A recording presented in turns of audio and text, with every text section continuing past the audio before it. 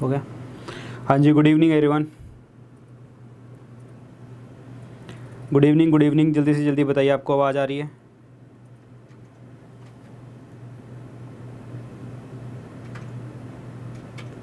जी।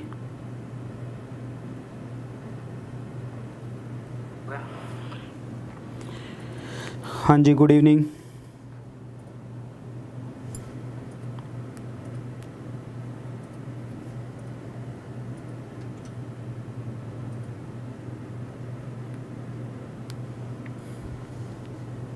देखिए आज जो है हमारी क्लास ना अब से जो है शाम को आठ बजे हुआ की हुआ करेगी। आपको पता होगा कि दिल्ली में थोड़ा सा लॉकडाउन का सिचुएशन है तो हम रात को क्लास नहीं करेंगे। मतलब देर रात तक नहीं करेंगे। आ, कुछ ना कुछ टाइमिंग हम बिठाएँगे लेकिन ये जो डेली क्लासेस होगी वो तो आठ बजे होगी। ठीक है? बाकी जिसको भी आप जो भी आपके साथ बच्चे मतलब हैं वगैरह वगैरह तो उनको भी आप बता सकते हैं। क्योंकि हाँ मुझे पक्का पता है कि ये मतलब बच्चे तभी मतलब क्लास में है नहीं। रीज़न सिर्फ़ यही है कि उनको शायद टाइमिंग की नहीं पता। हम्म।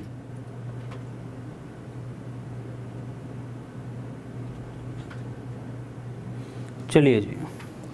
चलो कोई ना आ, आते रहेंगे धीरे धीरे बच्चे आएँगे। हम अपना जो है सेशन जो है स्टार्ट करते हैं।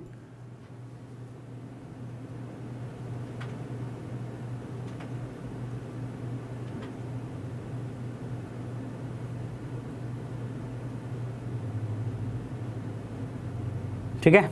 चलिए, बढ़ते हैं जी आगे। तो आज है हमारा सेट नंबर सिक्स और इस वीडियो को लेकर आ रहा हूँ मैं। मेरा नाम है डॉक्टर विपन गोयल। सो बढ़ते हैं आगे। आगे बढ़ने से पहले आपको बता दूँ, आप मुझे डिफरेंट सोशल मीडिया के ऊपर फॉलो कर सकते हैं। टेलीग्राम चैनल के ऊपर आपका जो मेरा नाम है डॉक्टर विपन गोयल के नाम से, यहाँ पे जो है एक लाख सैंतीस हज़ार प्लस बच्चे जुड़े हुए हैं तो आप भी आके यहाँ पे जुड़ सकते हैं। यहाँ पे हर lecture class video p paid courses की जानकारी एनीथिंग जो भी आपके साथ शेयर करना होता है, मैं टेलीग्राम चैनल के ऊपर शेयर करता हूँ। इंस्टाग्राम के ऊपर आप मुझे फॉलो कर सकते हैं डॉक्टर विपन गोयल के नाम से। मेरे दो पेड कोर्सेज आते हैं the one is the ten thousand M course जिसके अंदर हम चैप्टर वाइज प्रॉपर तरीके से एम डिस्कस करते हैं। यहाँ पे चैप्टर वाइज एम तो है ही है प्लस यहाँ पे मैंने कुछ डिफरेंट फोल्डर्स भी बनाए हैं।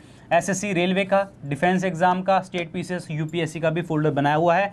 जो भी इसमें कोड है वो लगाइए अपना डिस्काउंट ले लीजिए। और जीएस कोर्स जो है, हमारा पूरा का पूरा जो है थ्योरी कोर्स है। बिल्कुल बेसिक से हमें, इसमें थ्योरी को समझा है और जो भी आपका कोर्स है, वो वैलिड है, वो लगाइए और अपना डिस्काउंट लें। और ये इन कोर्सेज़ को आप ले कहाँ सकते हो, वो मैं आपको बता देता हूँ। स्टडी आई क्यू ऐप से ले सकते हैं या फिर वेबसाइट से। स्टडी आई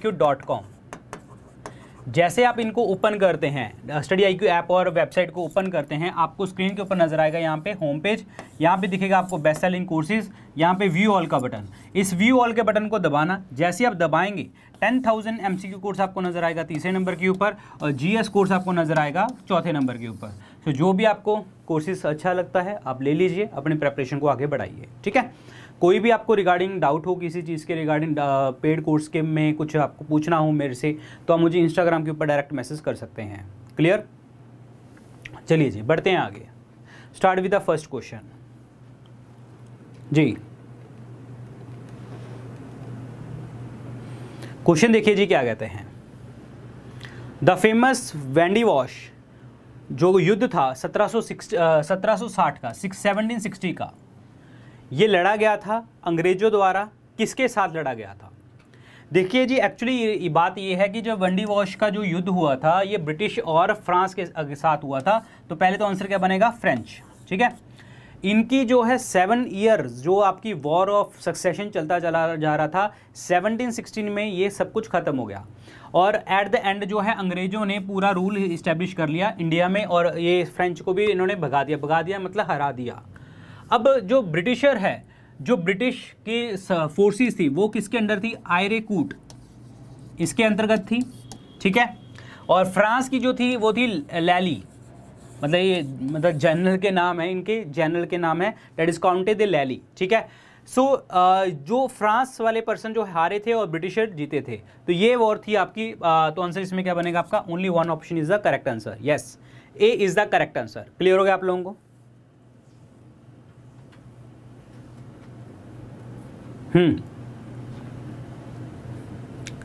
अब देखिए, एक चीज़ मैं आपको और बताता हूँ। हाँ ठीक है? फ्रांस के साथ थी, लेकिन ये बीपीएससी का क्वेश्चन है। और बीपीएससी का क्वेश्चन ऐसे नहीं सॉल्व होता। ठीक है? BPSC Bihar public service commission का पेपर में क्वेश्चन ऐसे नहीं, आसान, ठीक है? थोड़ा सा टफ है, लेकिन ऐसे नहीं कि ऐसे डाल दिया। और ऐसी वॉर को हम क्या कहते हैं? कार्नेटिक वॉर भी इसको कहा जाता है। ये कार्नेटिक वॉर भी है। समझ आया आप लोगों को? ये कार्नेटिक वॉर भी है। ये जो, ल... हाँ this is the Carnatic war समझ आया? हाँ ये थर्ड थर्ड थी आपकी। थर्ड कार्नेटिक वॉर थी ये। ध्यान रखना, ये क्वेश्चन का थर्ड कार्नेटिक वॉर थी ये। जी, करें आगे। डिसीजी बैटल थी, बिल्कुल।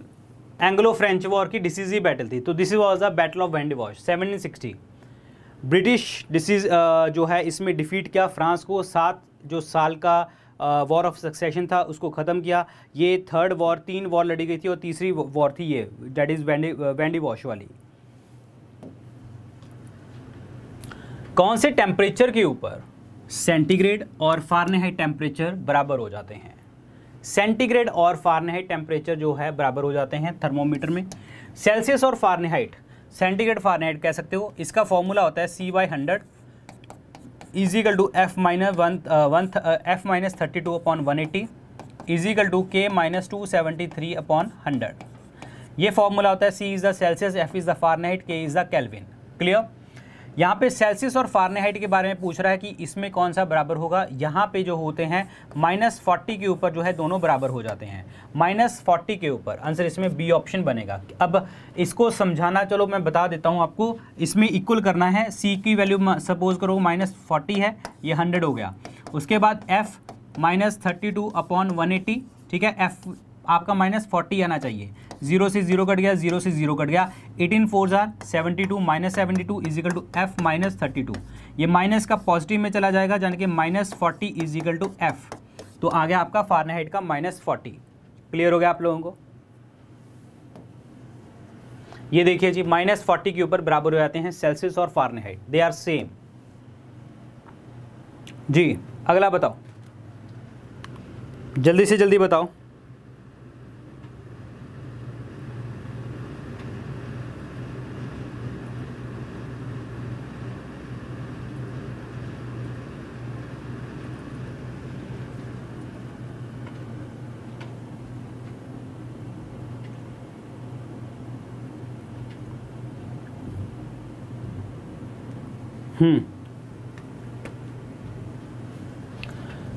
Japan largest island in terms of geographical area.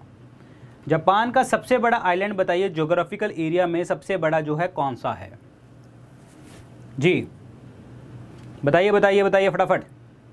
Very good इनमें से ये पहले चार ही हैं। होंशु सबसे बड़ा है पहले नंबर पे, होकाडो दूसरे नंबर पे, और ये कियोशो तीसरे पे, और शिकोको चौथे नंबर पे। सबसे बड़ा आइलैंड है यहाँ पे होंशु आइलैंड आंसर इसमें बी ऑप्शन बनेगा करेक्ट आंसर बनेगा। Honshu island is the correct answer यहाँ पे आइलैंड देख लीजिए। तो दिस इज़ द आइलैंड ये है आपका सबसे बड़ा होंशु आइलैंड देन होकीडो है। सॉरी हाँ होंशु है, होकीडो है।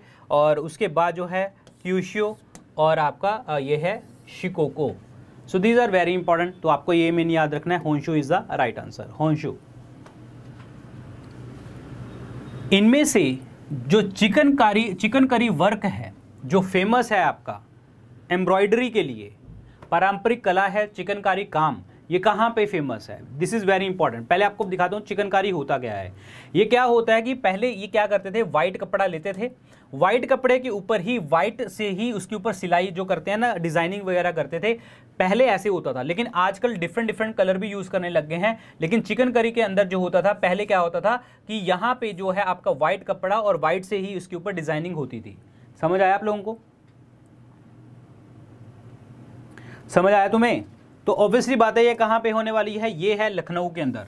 Lucknow is the capital of UP Uttar Pradesh. Lucknow किस नदी के किनारे पे है? गोमती रिवर के किनारे पे है। ये याद रखना है आपको, ठीक है? सो आंसर इसमें क्या बनने वाला है? Lucknow is the right answer yes ji, Lucknow. Clear हो गया आप लोगों को? आंसर इसमें ए ऑप्शन बनेगा राइट आंसर ध्यान से क्वेश्चन समझिए और आंसर दीजिए। इंडियन बैंकिंग ऑपरेशन में जो सिबिल स्कोर होता है, सुना होगा आप लोगों ने, सिबिल स्कोर। इस वर्ड का मतलब क्या होता है? What is the meaning of CIBIL score? CIBIL का मतलब क्या होता है? Credit information bureau India limited credit information bureau India limited this is the CIBIL. Word is the meaning क्या है इस वर्ड का मतलब क्या है? जल्दी से जल्दी बताओ। इस वर्ड का मतलब क्या है? इस वर्ड का मतलब ये होता है कि हाँ भाई, तुम्हारा स्कोर कितना है? आपका क्रेडिट वर्दीनेस कितनी है? ये होता है सिबिल स्कोर जो आपका 300 से 900 तक चलता है। अगर आप बैंक में अच्छी से ट्रांजेक्शन्स करते हैं पैसा निकालते हैं, पैसा जमा करते हैं, किसी का चेक बाउंस नहीं होता प्रॉपर तरीके से आपकी अमाउंट जो है ट्रांजेक्शन होती है तो आपका सिबिल स्कोर जो है अप अप अप चला जाएगा। इसका मतलब क्या है कि 750 समथिंग कुछ होता है जो उसके ऊपर, ठीक है? आपने बैंकिंग की टर्म में नहीं जाना, बस समझना है बस हमने कि अगर आपका 700 750 से ऊपर हो तो इसका मतलब क्या होता है कि आपको लोन बहुत ईजिली मिल जाएगा। समझ आया? अगर देखिए, क्या होता है कि किसी भी बैंक के पास जाएँगे, आप लोन लेने, चाहे आप कार लोन लेने जा रहे हो हाउस लोन लेने जा रहे हो एनीथिंग किसी भी चीज़ का लोन लेने जा रहे हो तो वो पहले आपका क्या चेक करता है? क्रेडिट का ये सिबिल स्कोर चेक करता है। ठीक है? ये होता है आपका 300 से 900 के बीच में, और इसमें हम मेज़र करते हैं credit worthiness of the individual अगर हाइयर स्कोर है तो चांसेस हैं आपका लोन ऐसी अप्रूव हो जाएगा। So this is the CIBIL तो हमें पता लगता है the merit of the credit of the individual किसी व्यक्ति के ऋण की योग्यता क्या है? आंसर इसमें क्या बनेगा? वन ऑप्शन बनेगा करेक्ट आंसर बनेगा।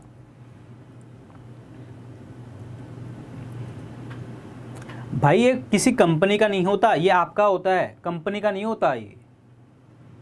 आंसर इसमें ए ऑप्शन बनेगा। एक व्यक्ति का होता है, अगर आपके पास, आप नॉर्मल डेबिट कार्ड भी यूज़ करते हैं ना डेबिट कार्ड आप एटीएम कार्ड भी यूज़ करते हैं तो उसमें भी आपका सिबिल स्कोर क्रिएट होता है।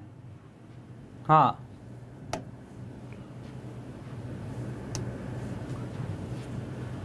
First annual session of the Indian National Congress was presided over by which of the following first Indian session Indian National Congress का। 1885 डिसाइड कहाँ पे हुआ था? पुणे में। लेकिन वहाँ पे क्या हुआ था? कॉलरा, हैजा फैला हुआ था। इसीलिए कहाँ पे हुआ? बॉम्बे में।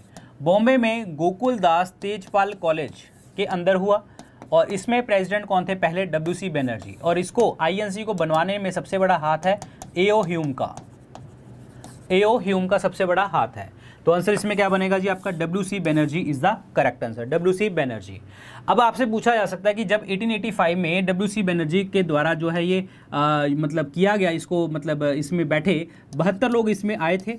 और यहाँ पे ये पूछा जा सकता है जब इंडियन नेशनल कांग्रेस बनी तो इस टाइम पे गवर्नर जनरल वाइसराय कौन थे? Lord Dufferin Lord Dufferin was the viceroy जो हमारे देश के अंदर थे। आंसर इसमें ए ऑप्शन बनेगा राइट आंसर फिरोज शाह मेहता की बात करूँ तो ये भी आपके आईएनसी बनने में बहुत बहुत साथ दिया इन्होंने, फिरोज शाह मेहता वगैरह, उस टाइम पे लोग थे। दादा भाई नरोजी ऑल्सो दादा भाई Naoroji is also there Dadabhai Naoroji को हम और क्या क्या बोलते हैं? Grand old man of India poverty and un British rule in India पुस्तक इन्होंने लिखी है। ड्रेन ऑफ़ वेल्थ थियोरी इन्होंने बताई है। और ये जो दादा भाई नरोजी जो हैं, पहले हाउस ऑफ़ कॉमन में होने वाले हाउस ऑफ़ कॉमन में इलेक्ट होने वाले पहले पर्सन थे दादा भाई नरोजी। ठीक है? और जो है डेट्स इट और इनकी जो प्राइवेट सेक्रेटरी थी इनकी सेक्रेटरी थी that was madam Bhikaji Cama madam Bhikaji Cama को बोलते थे मदर ऑफ़ रेवोल्यूशनरी क्योंकि ये सरदार सिंह राणा के साथ मिलके क्या करते थे? एक्सप्लोजिव एक्सप्लोजिव प्लस जो आपके आ, मतलब हमारे जो कहते हैं कि मतलब पर्चे जिसमें हम उसमें लिखते थे कि हाँ इंडियंस के लिए लिखे, लिखा जाता था तो वो सारे के सारे स्मगल करते थे ये, ठीक है? और मैडम बीका जी कामा ने क्या किया था? तिरंगा लहराया था 1907 में। आपका सेकंड सोशलिस्ट कॉन्फ्रेंस हुई थी जर्मनी स्टडगढ़ के अंदर, वहाँ पे। This is important one S N Banerjee Surendranath Banerjee कौन है? ये इंडियन एसोसिएशन इन्होंने स्टार्ट करी थी आनंद मोहन बोस के साथ। आनंद मोहन बोस के साथ। ये भी एक ऑर्गेनाइजेशन थी। तो इस क्वेश्चन का जो आंसर बनने वाला है, वो बनेगा आपका A option W C Banerjee is the correct answer W C Banerjee ये देखिए जी डब्ल्यू सी बनर्जी के बारे में the first president of Indian National Congress पहले सेशन में ये बैठे थे बॉम्बे सेशन में हुआ था, फिर उसके बाद अठारह सौ बानवे के सेशन में ये जीते इलाहाबाद के सेशन में। और इन्होंने जो है स्टैंडिंग कमेटीज़ बनाई ताकि आप बहुत अच्छे तरीके से कोऑर्डिनेट करके काम कर सकें। और ये लॉयर थे, वकील थे, और डेट सेट तो this is very important that is called Vyomesh Chandra Banerjee Vyomesh Chandra Banerjee अगला आंसर बताइए। स्टॉपर जो होता है, एक खेल में होता है, ये कौन सी खेल के साथ संबंधित है? ये देखो, ऐसा क्वेश्चन जब आता है ना तो आपको बस पढ़ लेना है। ज़्यादा सारी चीज़ों के मत, पीछे मत चले जाना, उसमें क्या है, उसमें क्या है। जैसे अगर मैं क्वेश्चन करवा रहा हूँ, जो आप भी कहीं पे पढ़ते हो तो लिख लो बस। स्टॉपर जो होता है, ये होता है आपका फुटबॉल में। आंसर इसमें ए ऑप्शन बनेगा। Football is the correct answer समझ आया? जी ए ऑप्शन फीफा आपको पता होगा? फीफा के जो प्रेसिडेंट हैं वो कहाँ कौन है? Gianni Infantino. Infantino. FIFA world cup 2022 का होने वाला है कहाँ पे? कतर में। अब आप मुझे बताएँगे फीफा के हेडक्वार्टर कमेंट सेक्शन में लिख के बताएँगे। फीफा के हेडक्वार्टर कहाँ पे हैं? फीफा के हेडक्वार्टर कहाँ पे हैं? ये कमेंट सेक्शन में लिख के बताएँगे आप मुझे। जी। फीफा के हेडक्वार्टर समझ आया तुम्हें? जी। आंसर इसमें क्या बनने वाला है आपका? वन ऑप्शन बनेगा करेक्ट आंसर बनेगा। वन ऑप्शन आंसर इसमें वन ऑप्शन बनेगा। चलिए जी, अगला आंसर देखिए। Unit of acceleration is acceleration के यूनिट क्या होते हैं? एक्सलरेशन के यूनिट क्या होते हैं? देखिए एक्सलरेशन क्या होता है? Acceleration is equal to velocity upon time velocity किसके बराबर होता है? Speed upon time speed upon time into time ऐसे। स्पीड का यूनिट होता है मीटर और टाइम क्या होता है? Second into second that means metre per second square metre per second square तो देखो जी कहाँ पे है ये मीटर पर सेकेंड स्क्वेयर ये है। Metre per second square answer इसमें थर्ड ऑप्शन बनेगा करेक्ट आंसर बनेगा. मीटर पर सेकेंड स्क्वेयर जी। अगला आंसर बताइए। इनमें से ऐसा कौन सा एक्ट है जो बताता है हमें सेपरेट इलेक्टोरेट के बारे में? मतलब सेपरेट इलेक्टोरेट का मतलब यहाँ पे है हिंदू हिंदू, मुसलमान मुसलमान को चुनेगा। तो ये कौन सा एक्ट है जी? जी। तो ये कौन सा एक्ट है? ये है आपका council act of 1909 Indian council act 1909 और इसको हम और क्या कहते हैं? मॉर्ले मिंटो रिफॉर्म भी कहते हैं। मॉर्ले कौन है? सेक्रेटरी ऑफ़ द स्टेट है। मिंटो कौन है? गवर्नर जनरल वाइस रॉय है। समझ आया आप लोगों को? आंसर इसमें डी ऑप्शन बनेगा। 1833 का चार्टर एक्ट जिसमें आपका इंग्लिश एजुकेशन को इंट्रोड्यूस किया गया पहले आ, क्योंकि इंट्रोड्यूस आपका 1835 में किया गया था। इंग्लिश ना यूज़ करके 1835 में इंग्लिश इंट्रोड्यूस करी गई थी। चार्टर एक्ट 1833 में आपको एक चीज़ और बताना चाहूँगा। यहाँ पे गवर्नर जनरल को गवर्नर जनरल ऑफ़ इंडिया बना दिया गया था। Governor general of Bengal is called governor general of India जो बने थे पहले विलियम बेंटिक विलियम बेंटिक बने थे 1833 में। रेगुलेटिंग एक्ट 1773 का वॉरेन हास्टिंग ने दिया था, जिसमें आपका ड्यूल गवर्नमेंट को ख़त्म किया गया जो है आपका रेगुलेटिंग एक्ट बनाया फेडरल कोर्ट बनाई, जो आपकी कहाँ पे थी? कोलकाता के अंदर थी। This is very important part clear Pitt's India act board of directors board of governors दो तरीके की जो है आपकी ड्यूल गवर्नमेंट यहाँ पे दोबारा से बनाएगी board of directors and board of governors so answer इसमें क्या बनने वाला है आपका?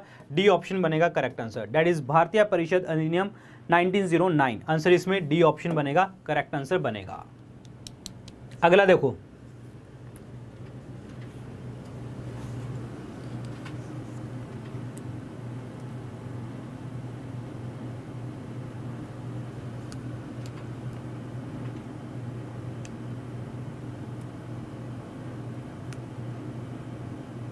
हम्म।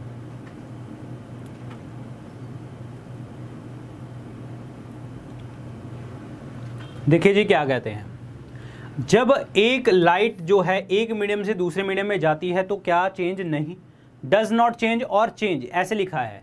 मतलब या तो नहीं बदलता और बदलता भी है, ठीक है? देखिए डज नॉट चेंज की बात करें तो फ्रिक्वेंसी कभी भी नहीं बदलती। फ्रिक्वेंसी कभी भी नहीं बदलती आपकी। एक मीडियम से दूसरे मीडियम में लाइट जाएगी तो फ्रिक्वेंसी आपकी सेम रहेगी। लेकिन जो चेंज होता है, वो आपकी स्पीड चेंज हो जाती है। स्पीड ऑफ़ लाइट जो चेंज हो जाती है समझ आया? जब एक मीडियम से दूसरे मीडियम में जाती है तो स्पीड चेंज हो जाती है स्पीड से आपका वेवलेंथ भी चेंज हो जाएगा। तो इसका मतलब आंसर इसमें क्या बनने वाला है? ई e, क्योंकि इसमें लिखा हुआ है more than one of the above answer इसमें जो है आपका ई e ऑप्शन बनेगा करेक्ट आंसर बनेगा। ई e ऑप्शन समझ आया? इन्होंने बोला है डज नॉट चेंज और चेंज चेंज नहीं होती और चेंज होती है तो इसका आंसर हम ई e को टिक करेंगे। क्यों? क्योंकि फ्रीक्वेंसी चेंज नहीं होती वेलोसिटी सॉरी स्पीड चेंज होती है तो इसको ई e टिक करेंगे हम। समझ आया तुम्हें? हाँ ये बीपीएससी ऐसे पूछते एग्ज़ाम में क्वेश्चन चलो, अगला देखते हैं। Longest session of the parliament किसे कहते हैं?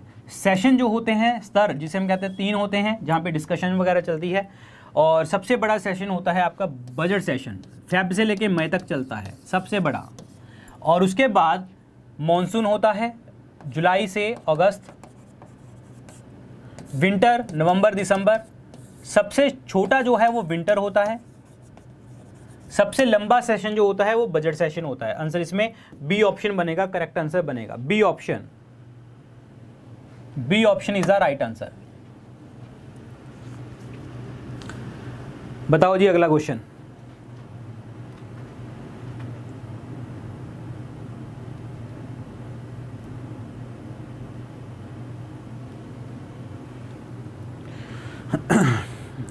national development council NDC is headed by देखिए, पहले क्या होता था, आपका नीति प्लानिंग कमीशन था प्लानिंग कमीशन आगे जाता था एनडीसी के पास सारा प्लान और ये आपका डिसाइड करते थे कि हाँ आपका एनडीसी जो है डिसाइड करता था 6 अगस्त 1952 को बना था ये।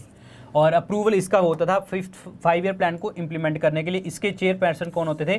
प्राइम मिनिस्टर तो आंसर इसमें ए ऑप्शन बनेगा राइट आंसर प्रधानमंत्री। और अब तो आजकल हमारे देश में क्या है think tank of the country that is NITI Aayog ही है। क्योंकि पहले क्या होता था प्लानिंग कमीशन प्लान बनाता था, उसको फाइनल कौन देता था? एनडीसी देता था। दोनों के चेयरपर्सन प्राइम मिनिस्टर होते थे। जो प्लानिंग कमीशन का मेंबर होता था, वो एनडीसी का मेंबर होता था। लेकिन डिफरेंस ये होता था कि एनडीसी में जितने भी चीफ मिनिस्टर हैं स्टेट्स के और लेफ्टिनेंट गवर्नर हैं, ये वगैरह आते थे। और ये आजकल हमने नीति आयोग में कर दिया है। नीति आयोग बिल्कुल सेम है, जो प्लानिंग कमीशन का पार्ट था। अब उसमें जो एनडीसी के लोग थे ना, वो भी हमने नीति आयोग में डाल दिए। यानी कि chief minister of the all the state panchayat वगैरह स्पेशल इन्वाइटीज वो तो अलग पोस्ट तैयार करी गई है सीईओ वगैरह की। बट हाँ अदरवाइज़ काम बिल्कुल सेम ही है, बस एक दो बंदे बढ़ा के हमने एक थिंक टैंक मतलब अच्छे तरीके से एग्जीक्यूट करने की बात कर रही है नीति आयोग में। लेकिन इस क्वेश्चन का जो आंसर बनेगा, वो बनेगा आपका ए ऑप्शन बनेगा। डेट इज़ प्रधानमंत्री इज़ द करेक्ट आंसर प्रधानमंत्री। चलिए अगला आंसर बताइए।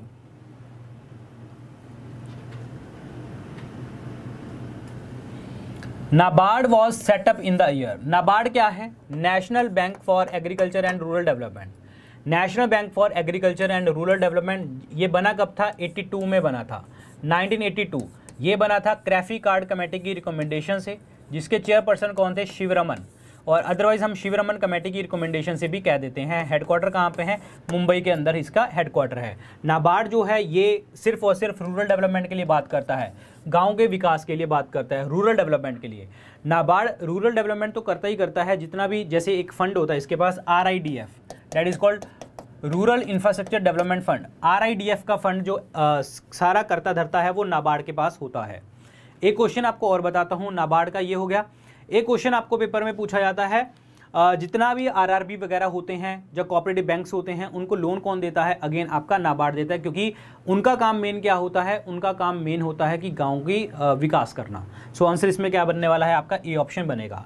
और एक चीज़ आपको बताता हूँ 1988 याद रखना किसान क्रेडिट कार्ड लॉन्च किए गए थे के Kisan credit card ninety two में।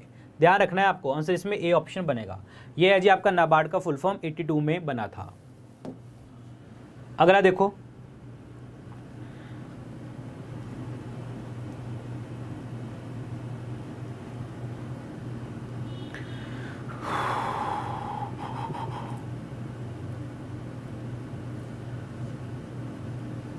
Durgapur iron and steel plant is located in which Indian state. देखिए, एक चीज़ मैं आपको बताता हूँ। आयरन एंड स्टील प्लांट तीन इकट्ठे लगाए गए थे सेकेंड फाइव ईयर प्लान में।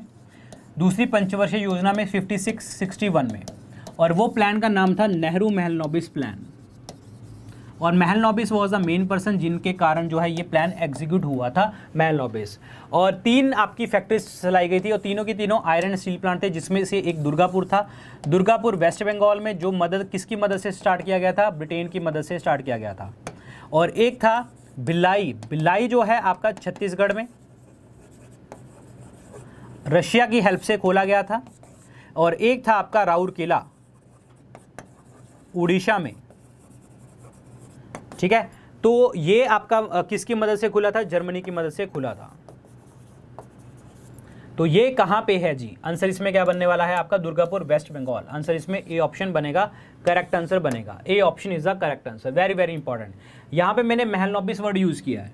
महलनोबिस कौन है? जिनकी बर्थ एनिवर्सरी होती है उनतीस जून को, और हम सेलिब्रेट करते हैं national statistical day. National statistical day हम सेलिब्रेट करते हैं उस दिन। और इन्होंने इंडियन स्टैटिस्टिकल इंस्टीट्यूट भी स्थापित किया था कहाँ पे? कोलकाता में। Indian statistical institute. आंसर इसमें क्या बनेगा आपका? वन ऑप्शन बनेगा right answer that is West Bengal पश्चिम बंगाल के अंदर। करें आगे। चलिए। आरबीआई के हेडक्वार्टर कहाँ पे हैं? आरबीआई के हेडक्वार्टर बड़ा सिंपल सा क्वेश्चन है तो। आरबीआई किसकी रिकमेंडेशन से बना था? हिल्टन यंग कमीशन की रिकमेंडेशन से। 1926 में हिल्टन यंग कमीशन आया था और फ़र्स्ट अप्रैल 1935 को जो नाम है, आपका एक आरबी आया according to the government of India act 1934 के एक्ट के अकॉर्डिंग और उस टाइम पे कोलकाता वॉज़ द हेडक्वार्टर लेकिन अभी मुंबई में है। मुंबई में शिफ्ट हो गए थे आपके 37 में। So now the headquarter of RBI is Mumbai. Answer इसमें बी ऑप्शन बनेगा right answer Mumbai clear RBI के चेयरपर्सन कौन है? मतलब आरबी गवर्नर अभी कौन है? ट्वेंटी फिफ्थ गवर्नर है, शक्तिकांत दास क्लियर और आरबी का जो लोगो है, वो क्या है? टाइगर और उसके पीछे क्या है? Palm tree tiger under a palm tree ताड़ का पेड़. आंसर इसमें डी ऑप्शन बनेगा राइट आंसर और आरबीआई को हम और क्या कहते हैं? आरबीआई को कहते हैं बैंकर्स बैंक कहा जाता है।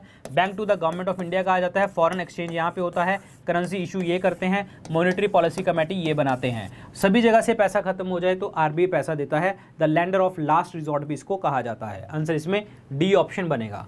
Mumbai is the correct answer Mumbai very very important अगला देखो।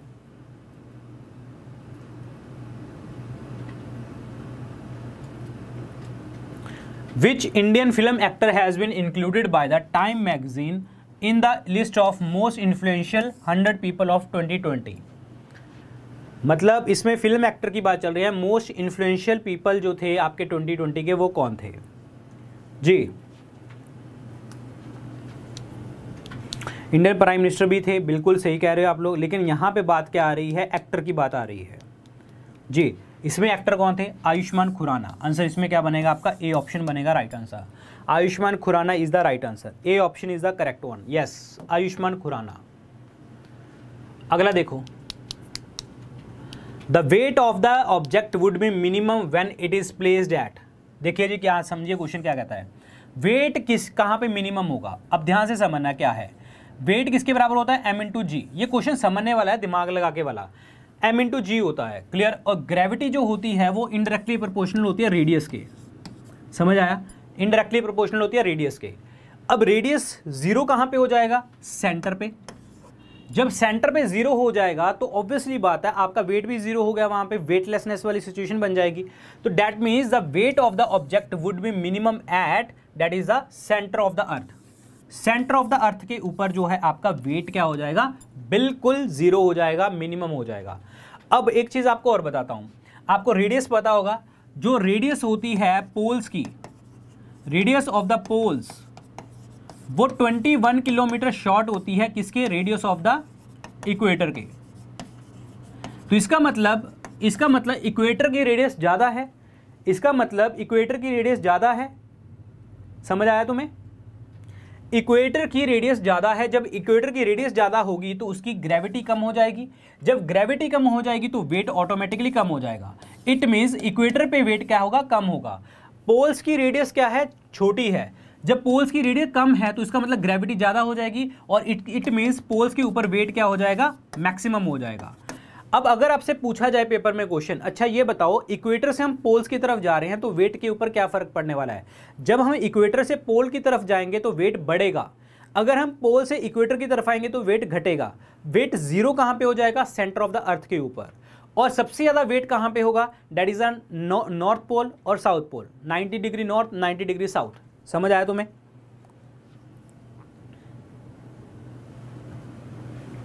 ठीक है? आंसर इसमें डी ऑप्शन बनेगा राइट आंसर डी ऑप्शन कौन सी ऐसी अरब कंट्री है जिसने स्टार्ट किया पहला न्यूक्लियर पावर प्लांट अच्छा एक और चीज़ आपको बताता हूँ बेस्ट 500 करंट अफेयर का पार्ट सेकंड जो आएगा, वो कल आएगा, शाम को, ठीक है? कल शाम को आएगा तो करंट अफेयर देखना मत भूलना, वो वाला, ठीक है? चलिए जी विच अरब कंट्री है started the first nuclear power plant मतलब कौन सी अरब कंट्री है जिसने पहला न्यूक्लियर पावर प्लांट यहाँ पे स्टार्ट किया? जी तो वो है आपकी country that is U United Arab Emirates answer इसमें क्या बनेगा आपका? सी ऑप्शन बनेगा करेक्ट आंसर यूएई ने जो है ये आपका पहला न्यूक्लियर पावर प्लांट स्टार्ट किया, कतर के अंदर मतलब just east to the Qatar. Ji UAE United Arab Emirate answer इसमें सी ऑप्शन बनेगा राइट आंसर सी ऑप्शन और आपको पता है कि न्यूक्लियर रिएक्टर के अंदर की बात करता हूँ तो न्यूक्लियर रिएक्टर के अंदर होता क्या है? न्यूक्लियर पावर के अंदर न्यूक्लियर रिएक्टर के अंदर होता है कंट्रोल्ड फिजन रिएक्शन होती है। और उसमें मटेरियल कौन सा यूज़ होता है? यूरेनियम 235 यूरेनियम सबसे ज़्यादा कहाँ पे है? कजाकिस्तान में देखने को मिलता है। यूरेनियम की जो ओर है, वो कौन सी होती है? पिच ब्लैंड पिच ब्लैंड किसकी ओर ओर है? डेट इज़ थोरियम की भी ओर है। और थोरियम हमारे इंडिया में कहाँ पे मिलता है? केरल में। मोनाजाइट सैंड है वहाँ पे। वहाँ पे मिलता है। केरल जो है, आपकी स्पाई सिटी है। केरल के अंदर नेचुरल रबड़ भी मिलती है। नेचुरल रबड़ वर्ल्ड वाइड सबसे ज़्यादा थाईलैंड में। नेचुरल रबड़ को स्ट्रॉन्ग बनाने के लिए प्रोसेस कौन सा होता है? वल्कनीकरण वेल्कनाइजेशन ऑफ़ रबड़ इसको कहते हैं। समझ आया तुम्हें? तो आंसर इसमें क्या बनने वाला है? सी ऑप्शन बनेगा करेक्ट आंसर बनेगा। यूनाइटेड अरब एमिरेट ये है जी। इनमें से कौन सा ऐसा नेशनल पार्क जो लिस्टेड नहीं है? In the UNESCO world heritage site UNESCO world heritage site जो है, पहले तो यूनेस्को का हेडक्वार्टर कहाँ पे है? पेरिस में है। यूनेस्को वर्ल्ड हेरिटेज साइट में जो है, आपका इनमें से कौन सा नेशनल पार्क नहीं है, ये पूछ रहा है। जी, बहुत सारे नेशनल पार्क है, जैसे कि आपका काजीरंगा नेशनल पार्क है, केवला दो है, सुंदरबन है, लेकिन कान्हा नहीं है। कान्हा नेशनल पार्क नहीं है। कान्हा नेशनल पार्क है कहाँ पे वैसे तो? मध्य प्रदेश में है। क्लियर ये ध्यान रखना। काजीरंगा असम में है केवला देव जो है आपका राजस्थान में, सुंदरबन आपका, वेस्ट बंगाल में काना एमपी में। तो इस क्वेश्चन का जो आंसर बनेगा, आपका क्या बनेगा? डी ऑप्शन बनेगा। अगर आपसे पूछा कि अच्छा ये बताओ, इसके अलावा और कौन से वर्ल्ड हेरिटेज साइट में है? Manas wildlife sanctuary Manas wildlife sanctuary Nanda Devi. Nanda Devi भी है, सुंदरबन है वेस्टर्न घाट भी है वेस्टर्न घाट भी है। So these are all in the जो है आपके वर्ल्ड हेरिटेज साइट लेकिन Kanha national park is not in the national world heritage site clear अच्छा आपसे क्वेश्चन एक पूछा जा सकता है और। अभी यूनेस्को का एक पता होगा आपको। मैन एंड बायोस्फीयर प्रोग्राम चलता है। Man and biosphere programme man and biosphere programme में इंडिया का कौन सा बायोस्फीयर प्रोग्राम इन्होंने अंतर्गत लिया था? वो इंडिया की साइड से बारवा बना। That is Panna Panna biosphere reserve समझ आया? और पन्ना माइंस हैं आपकी। पन्ना माइंस कहाँ पे हैं? एमपी के अंदर ही डायमंड के लिए फ़ेमस हैं। डायमंड जो होता है वो प्योरेस्ट फॉर्म होती है कार्बन की। डायमंड सिटी किसे कहते हैं? ताप आ, सूरत को कहते हैं। और सूरत आ, ताप्ती रिवर के किनारे पे है। समझ आया तुम्हें? समझ आया तुम्हें? आंसर इसमें क्या बनेगा? डी ऑप्शन बनेगा right answer this is the Kanha national park Kanha ji. Sadhu Bet island. Sadhu Bet island जो है, ये इंडियन स्टेट का पार्ट है। ये कहाँ पे है? बिल्कुल। बताओ बताओ।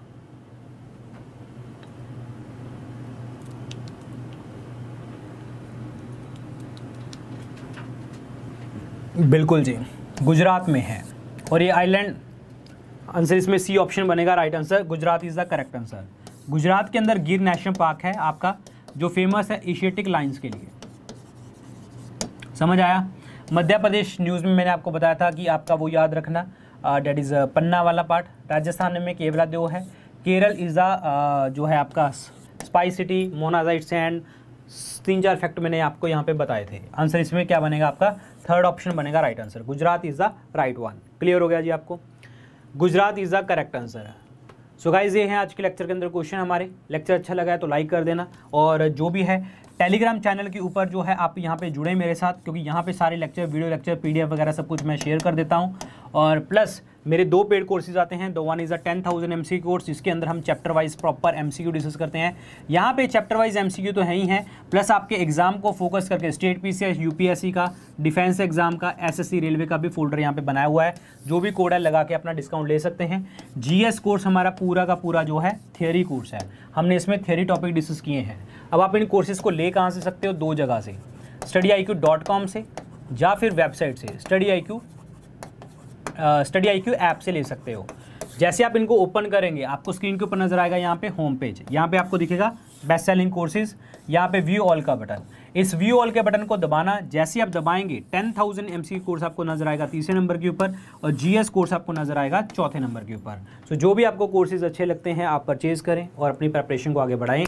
और कल हमारा करंट अफेयर वाला सेशन होगा, उसको मिस मत करना, ठीक है? बहुत बच्चे आएँगे कल करंट अफेयर के सेशन में तो आप भी उसमें अपना बेस्ट देना, आपको कितना आता है। क्लियर सो गाइज़ ये हैं आज के लेक्चर के अंदर question so thank you so much and all the very best कल मिलते हैं सुबह नौ बजे देन फिर शाम को मिलेंगे. Good luck guys take care bye जय हिंद